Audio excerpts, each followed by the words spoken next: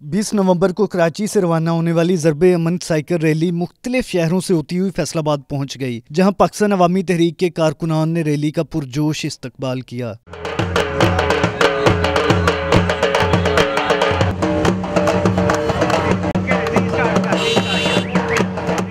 صدر عوامی تحریک فیصل آباد طاہر سلیم کا کہنا تھا کہ دہشت گردی اور فتنہ و خوارج سے پاکستان، عالم اسلام اور پوری دنیا کو محفوظ رکھنا مقصد ہے۔ دنیا کے سامنے پاکستان کا امیج مثبت بنانے کے لیے عوامی تحریک کے کارکنان نے کراچی سے خیبر تک کا سفر اختیار کیا تاکہ ملک دہشت گردی سے پاک ہو سکے۔ اس ریلی کے ذریعے یہ امن کا میسج پوری دنیا تک پہنچانا چاہتے ہیں کہ اس ملک میں اسلام امن کا دین ہے اور اسلام سے بڑا جو زامن نہیں ہے امن کا، کوئی اور دین۔